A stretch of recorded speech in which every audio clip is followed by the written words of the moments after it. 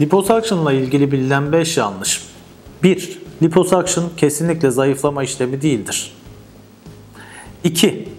Liposuction yapılan bölgelerde çökme ve dalgalanma kesinlikle olur. Külliyen yanlış. 3. Liposuction yapılan bölgelerde, liposuction uygulanan bölgelerde uyuşukluk kalıcıdır. Yanlış. Liposuction olan her hastada emboli olur. Yanlış. 5. Liposuction yapılan hastalarda ameliyat sonrasında kilo aldıkları zaman yağlar başka bölgelerde birikir. Yağlar bu kadar zeki değil. Başka bölgelerde birikmez. Bu da yanlış.